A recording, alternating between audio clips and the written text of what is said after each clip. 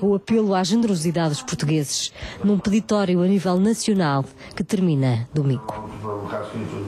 A Universidade da Beira Interior está a apoiar mais de 100 alunos através de um fundo de apoio social.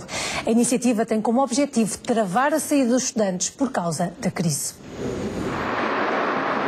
Os números não enganam. Cerca de 300 alunos abandonaram as aulas na Universidade da Beira Interior desde o ano letivo anterior.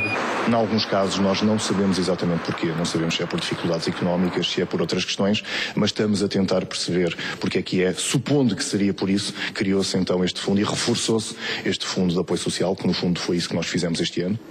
Trata-se do Fundo de Apoio Social devido ao aumento do número de candidaturas. Os alunos abrangidos ultrapassam a centena numa tentativa de evitar a saída de mais estudantes do ensino superior.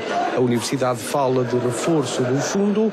A Associação Académica concorda com a medida, mas corrige as contas. Em 2012 2013 houve um aumento das propinas para o limite máximo cá na Universidade da Beira Interior e esse, esse, essa 37 euros, se não estou em engano, um, esse, esse aumento a nível de cada estudante permitiu que, na altura, o antigo reitor uh, decidisse a criação do Fundo de Apoio Social com esse dinheiro a reverter para o Fundo de Apoio Social.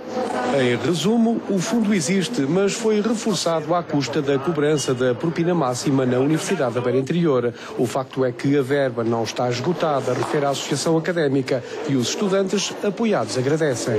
Considero o fundo muito importante para a ajuda do pagamento das propinas, como residência. É uma, é uma mais-valia ao, fundo do, ao fim do mês para fazer, para fazer os meus pagamentos. Os alunos que usufruem deste auxílio colaboram nas bibliotecas, nas atividades culturais e desportivas e ainda nas cantinas e nas residências. Uma espécie de retribuição social, dizem os responsáveis da universidade, que é desta forma que se promove a solidariedade e equidade e, como fim, a redução do abandono escolar.